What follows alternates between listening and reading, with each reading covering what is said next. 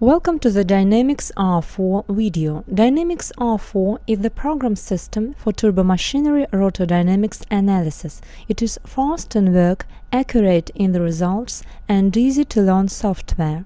Dynamics R4 is the software package especially developed for design, analysis, and troubleshooting of many kinds of rotating machinery. In this video we will create the model of the Simple 2 support rotor. Press New button. Append to the model the new subsystem by double-clicking on the shaft element in the Elements panel. We have changed the editing mode to length. Copy current beam to the clipboard and paste several new ones. We have changed back the editing mode. Select New Beam and append disk to the model by clicking in the appropriate places. Edit dimensions of the last beam. Materials in the rotor are set to the default values. Append supports to the model.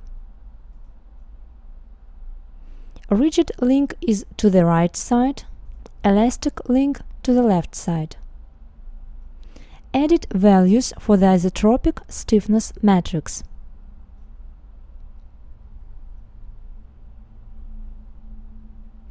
Now we are ready to calculate natural frequencies without damping and rotation in the basis algorithm.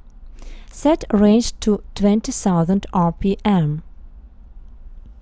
Calculate to make results for the mode shapes more detailed, we can change beam's auto-division parameter in the shaft's properties.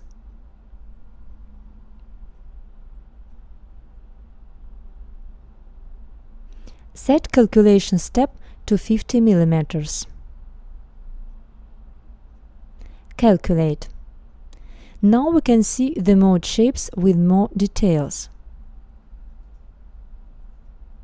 We can edit visualization options to assign colors to the elements.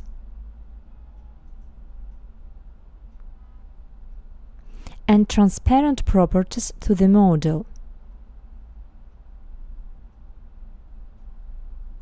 If we need to obtain frequencies for rotated system, we should append natural frequencies algorithm and rotation to the model. Set the constant rotation speed in the added kinematic joint element. Calculate natural frequencies. Let's append natural frequencies map. Calculate. We have received an error message from the model validation system. To calculate this algorithm, we need to define the rotating speed function. In other words, to parameterize omega z parameter in the kinematic joint element. We have added the variable to the model. Change the name to speed var. Define parameter changing from 0 to 20,000.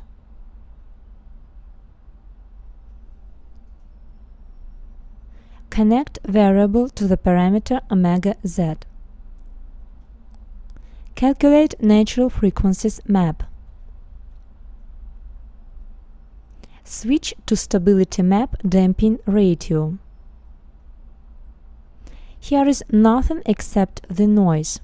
Let's append the damping to the link. Open damping matrix.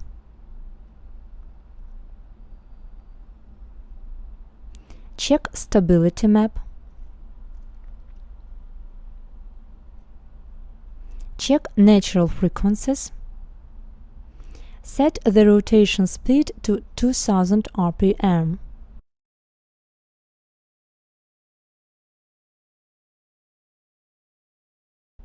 Let's add critical speeds algorithm. Calculate we can add some orthotropy to the elastic link. Change the link's type to full and edit stiffness matrix.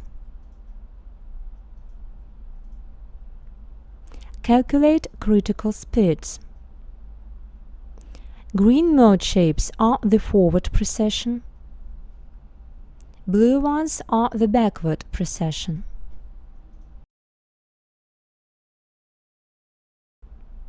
Unbalanced response In prior, we need to specify unbalanced load in the model. Add the new element from the elements library.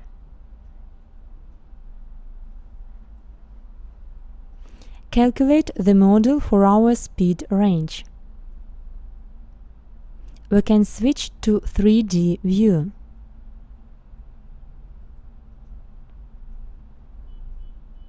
We can see one resonance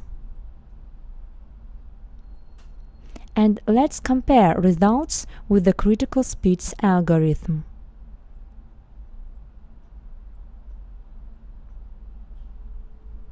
Here is our forward precession critical speed.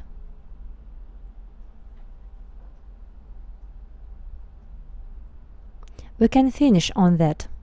Thank you for your attention. If you are interested in the additional information, you are welcome to our website www.alfatran.com.